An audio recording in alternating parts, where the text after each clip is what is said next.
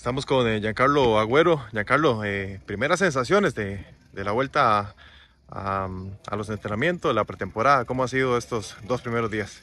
Sí, muy contento, de, con muchas ilusiones eh, de cara a este nuevo inicio de torneo que se, que se nos espera.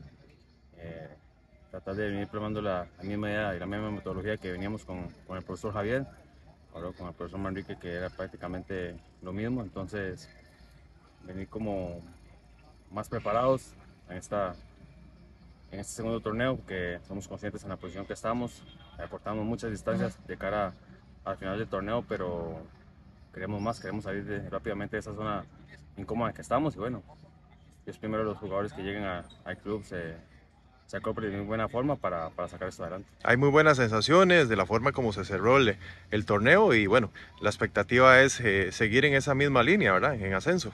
Sí, eh, somos conscientes de que venimos trabajando muy bien, eh, corregimos bastantes cosas eh, que fueron trascendentales en, este cara de, de, final del torneo que pasó, pero ya es un inicio nuevo, jugadores diferentes y vienen con cualidades diferentes también, entonces tenemos que acoplarnos todos a la, a la misma idea de, del profesor y, y, echar todos para el mismo saco para poder sacar este barco adelante.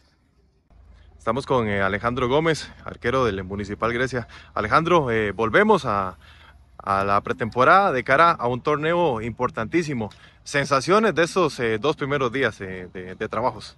Sí, es importante empezar a trabajar de cara a lo que se nos avecina. Es un torneo que sabemos que es vital para nosotros, nos estamos jugando la permanencia.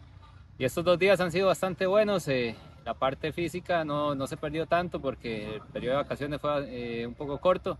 Entonces estamos más enfocados en lo que va a ser el parado del equipo, los movimientos tácticos para, para de cara al, al, torneo que va a empezar, que, que, también inicia bastante rápido. Hay muy buenas sensaciones con el cierre del, del torneo, las incorporaciones, eh, que indudablemente pues esperemos que vengan a aportar muchísimo para seguir en alzada. Sí, sí, es, el equipo siento que cerró de muy buena manera, este, nos motiva a todos y siento que los, las incorporaciones nuevas va a ser para para ayudar al equipo a seguir en esa línea que, venía presentando en la segunda vuelta del torneo.